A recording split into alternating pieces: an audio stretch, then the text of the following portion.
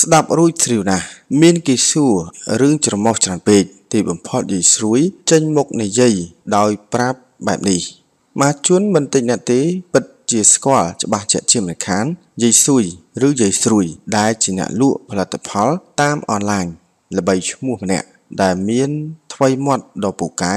ហើយឡាយលើកណាក៏មិនអាចទប់សំណើចបានដែររហូតមានគេយកទៅត្រូលជាញឹកញាប់ថែមទៀតផង ហើយពេលកន្លងទៅយាយស្រួយបានធ្វើឲ្យគ្រប់គ្នាមានការភ្ញាក់ផ្អើលនិងចាប់អារម្មណ៍ខ្លាំងក្រោយឃើញមុខមាត់ថ្មីរបស់យាយស្រួយក្រោយកែសម្ផស្សរួចត្រង់ច្រមុះចំណាយអស់6500ដុល្លារមើលទៅពិតជាប្លែកនិងស្អាតជាងមុនឆ្ងាយណាស់ដល់ថ្នាក់សម័យខ្លួនយាយស្រួយក៏ភ្ញាក់ផ្អើលដែរអ្នកលក់អនឡាញដ៏ល្បីឈ្មោះរូបនេះបានភ្ជាប់សារកាលពីថ្ងៃទី1ខែកក្កដាឆ្នាំ2021ថា ទើបកន្លងផុតទៅប៉ុន្មានថ្ងៃនេះទេ ប្រពន្ធចង់ប្តីមេសួយ ប្តីថាអញដូចមានប្រពន្ធចង់មួយទៀត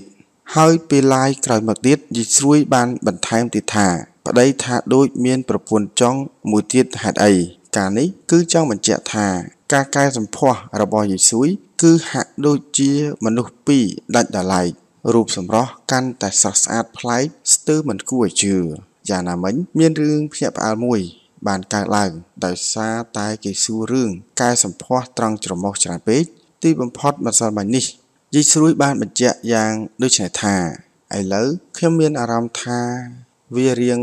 អូចអូចខណៈពេលដែលខែត្រជាក់ខ្ញុំមានអារម្មណ៍ថារៀងចុកចុកហើយពេលដែលយើងយកដៃខ្វេះអាចច្រមុះមានអារម្មណ៍ថា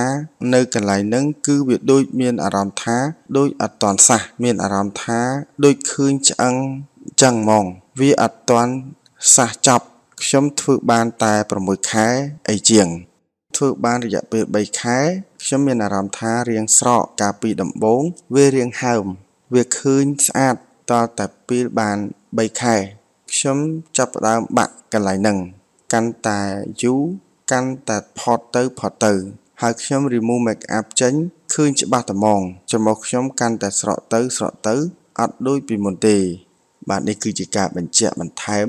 របស់យាយសួយឬក៏យាយស្រួយហ្នឹងដែលគាត់លើកឡើងថាឥឡូវហ្នឹងចំមុះរបស់គាត់ហាក់បីដូចជាមិនសូវស្រួលទេ បាទហើយយ៉ាងណាគឺថាសូមបងប្អូនមេត្តាប្រុងប្រយ័ត្នឲ្យបានខ្ពស់ពាក់ព័ន្ធទៅនឹងរឿងកែចំមុះហ្នឹងបាទបើថាពេទ្យគ្មានចំណេះជំនាញត្រឹមត្រូវអីទេ គឺថាកុំកែកុំអីឲ្យសោះបាទកាលណាខុសបច្ចេកទេស ដឹងតែខូចមុខហើយបាទហើយមិនត្រឹមតែខូចមុខទេគឺថា ខាតទាំងទ្រព្យសម្បត្តិលុយកាក់ថែមទៀតផងបាទបាទហើយចំពោះអត្ថបទព័ត៌មាននេះខ្ញុំបាទសូមបញ្ចប់តែប៉ុណ្ណេះជួបគ្នានៅវីដេអូក្រោយៗទៀតសូមអរគុណសូមគោរពលា